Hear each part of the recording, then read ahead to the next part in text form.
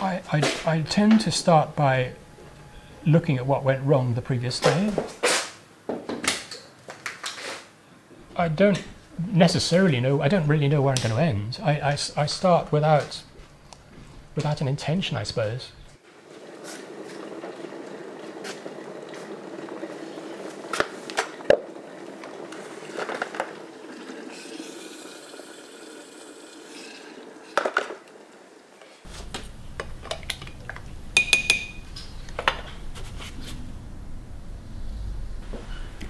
The thing I might think about is which brush, because I have, at any given time, I may be using four different categories of brush, not just in size, but they do very different things.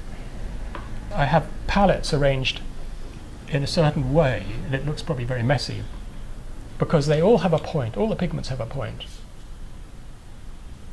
F fluidity of watercolor that's, that's wonderful what you aim for in watercolor and all sorts of painting is to make it look um, smart and effortless and relaxed and not thought about too much.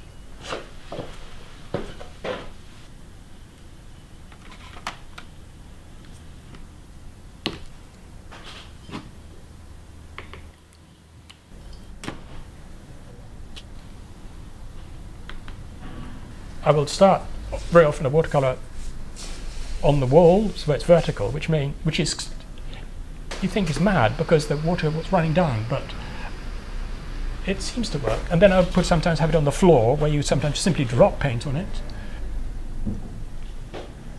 But you've got to be decisive in what you're doing because you you've got to go with it. You can't ask it to do things and change your mind or something like that. You've just got to watch it very carefully I very rarely would spend more than a minute, you know, on the watercolor. Maybe a lot of time thinking about it. How do you know if a picture is finished, which is a killer question?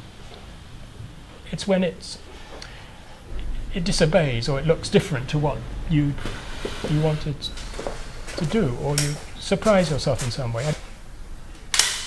How can you not paint experimentally with watercolor? I mean, I think the adventure is not knowing what you're doing.